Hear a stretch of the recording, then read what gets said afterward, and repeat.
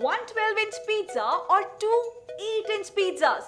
All thin crust, same price. Which option will give you more pizza? More pizza means more surface area and the area of a circle is pi r square. In a 12 inch pizza, 12 is the diameter, so the radius is 6 inches. So the area would be pi into 6 square which is 36 pi square inches. Likewise, for a 8 inch pizza, the area would be pi into 4 square which is 16 pi square inches. So for a two 8-inch pizzas, the area would be 32 pi square inches.